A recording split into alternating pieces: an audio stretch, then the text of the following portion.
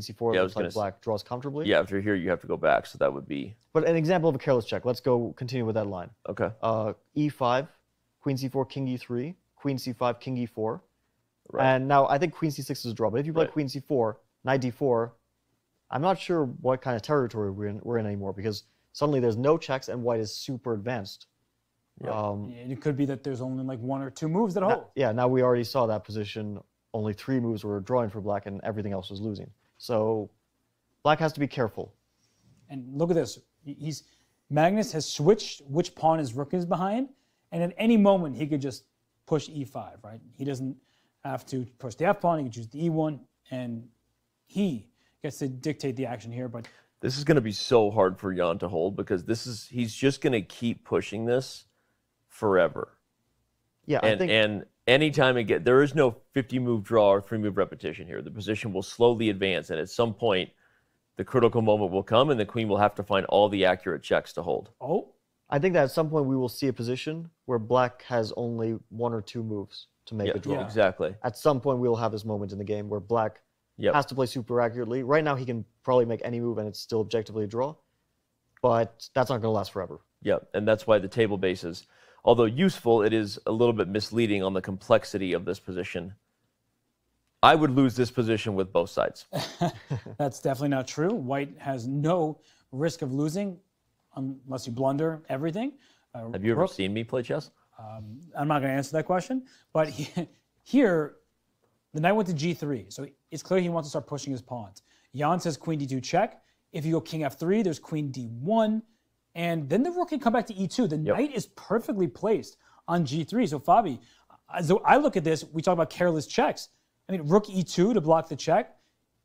You can check on the third. Well, not right now. king king f3 Okay, sorry, king of three. in the live position. here. Rook e2. And if you give a careless check like queen d3 and king g4, the Yeah. king's escaping. You go queen d7, I go f5, right? Yep. I can push forward. And this is what I was talking about in terms of careless checks, you know. And if you keep careless checking, you might careless check yourself off the board. Yeah, we're probably still in draw territory, but white is starting to advance. So after king f3, rook e2, queen b3, I suspect he'll play king g2.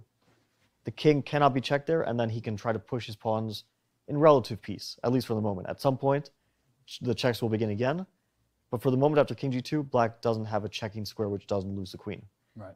And then white will play f5 next, and then e5, and then the checks will begin again, and we'll have to start calculating stuff. So Jan is still playing quickly. They they both have a healthy amount of time, and we're about to break the Yep. world record for longest world championship game. We are nearing history here. Will it be a decisive game today? Uh, it's. I have no idea how to answer that question, but I know that either way, we have broken history here in the 2021 World Chess Championship because the move Rook to D2 officially makes this game the longest game in World Chess Championship history. These two guys made it happen. Maybe he doesn't want f5. Maybe he wants rook to d5, and then the king sneaks around, king h3, g4, and the rook and knight cover checks from pretty much everywhere. Do you think either of these guys, or ask, ask it this way, do you think Magnus knows that this is objectively probably a draw? I would guess yes.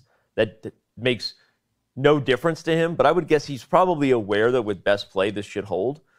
I, I don't think they 100% know that. Right. Okay. But I think they assume, because this sort of endgame is known with, well, let's say not with E and F, but with other configurations of pawns. Yep.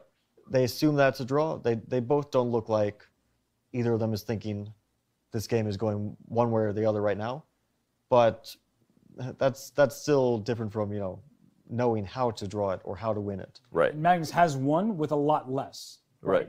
He's at positions where you've seen even material and he just squeezes, inches forward, finds a little hole in his opponent's position and is able to take advantage. But one of the critical things here is e4 is protected, and even if the move like queen takes f4 were possible, if we're legal, then rook f2. So mm-hmm. the black king, well, it probably needs to establish itself in front of the pawns rather than off on the side of the board because then the pawns just start going it makes it harder for black to really attack the pawns, even when they're hanging. Sometimes you shouldn't take it because there Right. could be a pin. And so I, I like the way that Magnus is doing this. He's not rushing, and he's leaving Jan with more decisions to make.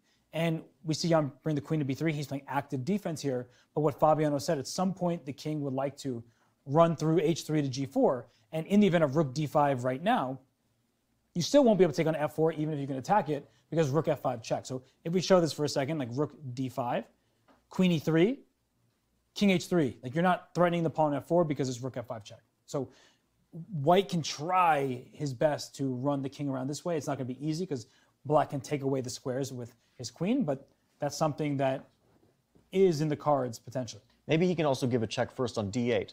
Rook to d8, king, let's say some some square, and the king might be a bit more vulnerable to checks. Like let's say now here rook to d5. Now queen e3 is no longer a move, right? Knight to f5 wins the queen directly, and it, it re- really doesn't change so much. But yeah, let's say queen c2, and now white plays king to f3 or h3, tries to get that king slowly up the board without allowing too many checks or a perpetual check. Right. And well, we see that Magnus grabs a piece, as we know chess players love to do.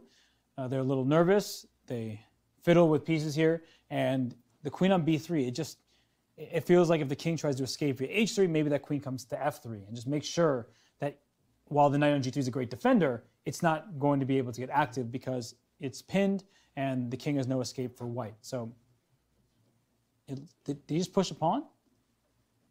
I think he might have. No, No, rook rook d5. d5. Okay, that It makes feels like a very good rook on d5. yes.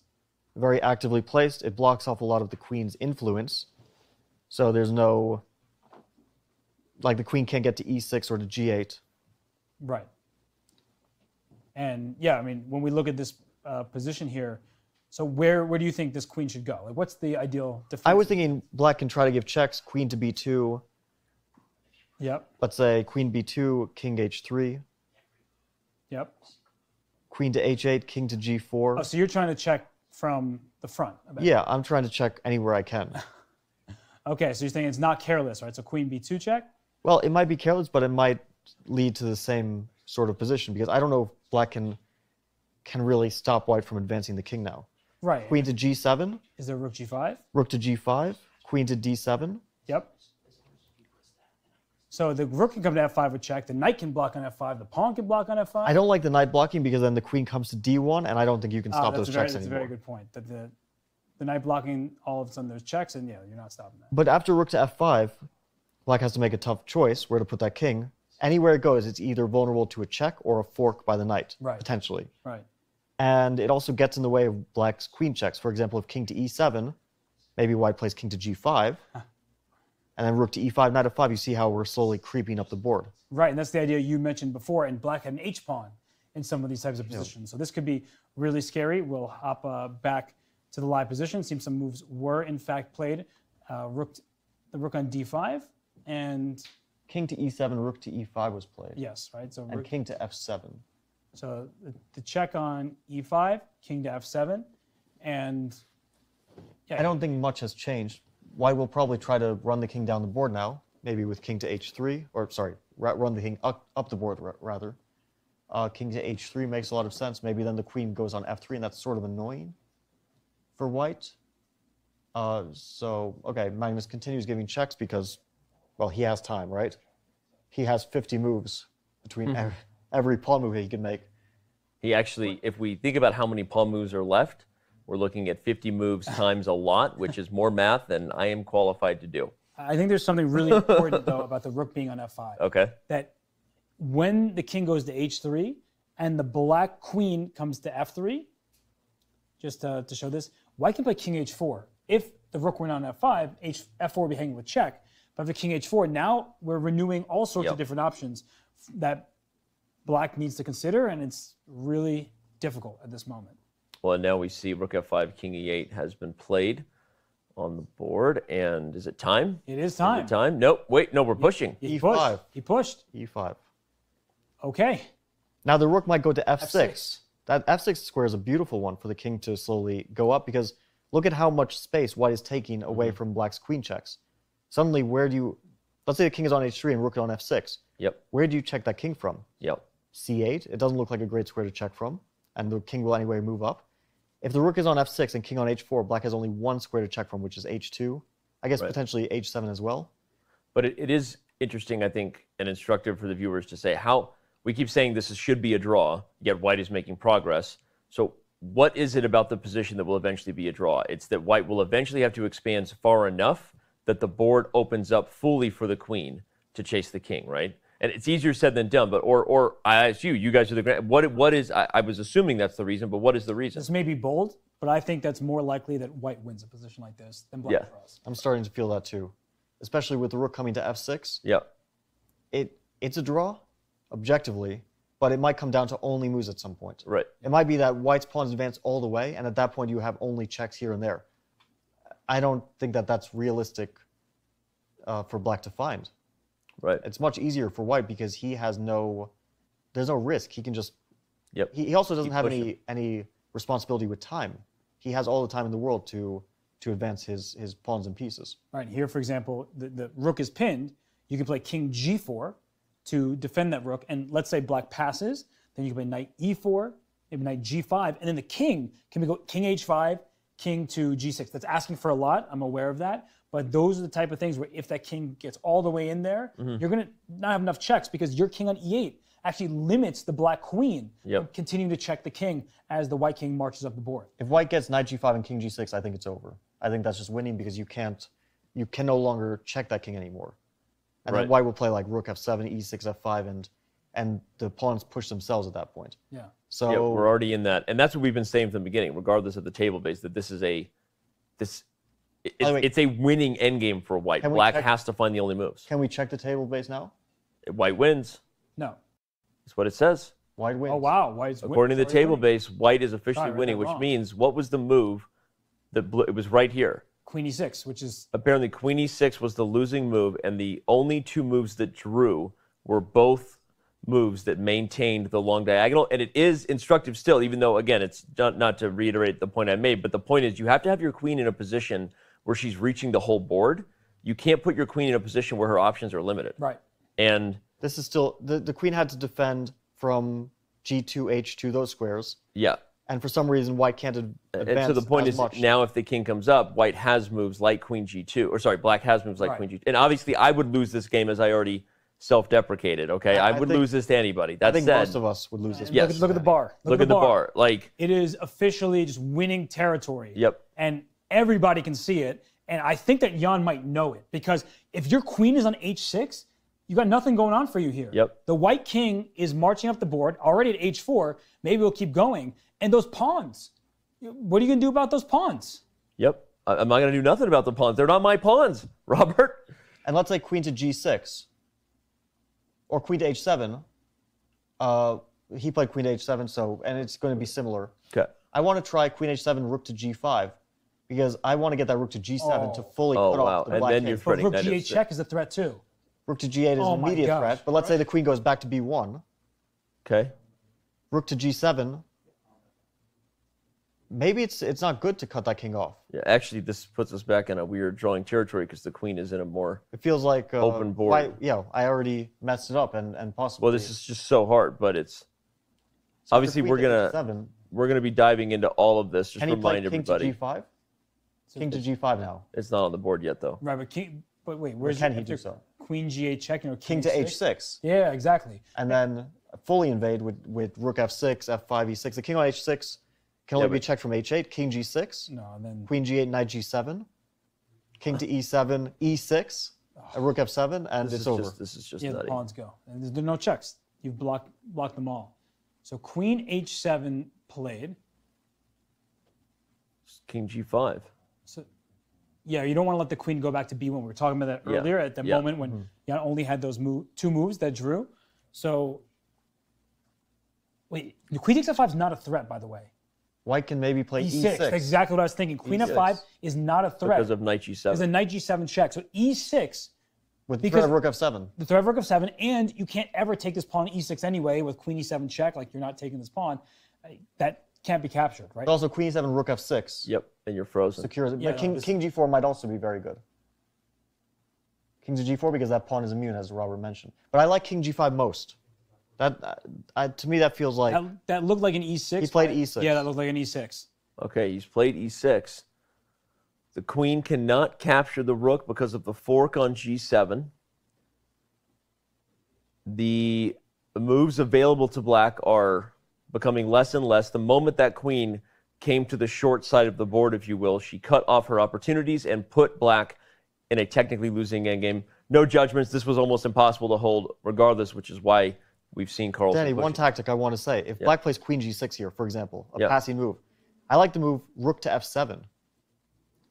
now that is threatening Knight F6 E7, and if Black takes on E6, Knight G7, King F7, Knight E6, King E6, You King to the king and pawn G5, ending. King F7, King F5. This is an Know your king and pawn endings, kids. It's a winning for it's a winning endgame for white. Wow. I mean, it, it was an immensely difficult task for Jan. We've been sort of saying that for a long time now, where it seemed like Mag was pushing, pushing, waiting, finding his moments. And this is a lost position for Jan Nepomniachtchi. Yep. And what you're saying, Danny, is so important that when the queen is close to a knight, what Yep. um, my coach and Five Minutes coach taught us at a young age is knights are amazing defenders because let's say the queen was on h6, like even if the rook weren't over there, you don't have a single check Yep. because the knight covers f6, it covers f4, and it's blocking the h file. Yep. So knights are amazing at restricting the queen, and that's why the queen needed to be on b1, on c2, Yep. all the way on this side of the board to give checks so the knight couldn't block. But now it's way too late for that. The king is coming up, the pawn, the rook, everything is working harmoniously. And Jan Nepomniachtchi, he knows he's lost right Yep. It's one of those really instructive, just the, the geometry lesson that is a chessboard when you see a knight dominate a queen in close proximity, because the queen, as powerful as she is, has no access to these long diagonals, the things that she normally does to flex muscles on both sides of the board. Oh, Queen G6, Rook F7 Rook is, F7. is winning on the spot now. Rook f7 threatens knight f6, and Queen again, E6 is losing. this- we mentioned that. the king and pawn ending we've already talked about. If queen takes Wait. e6, you fork. We just saw the bar go wild there. Maybe Rook F7, Queen to H6 is What's the possible. move? Oh, a f- No. no. So why, Why is this? I don't know that No, it- eval it- bar. it- no, there- I think there- the eval bar just.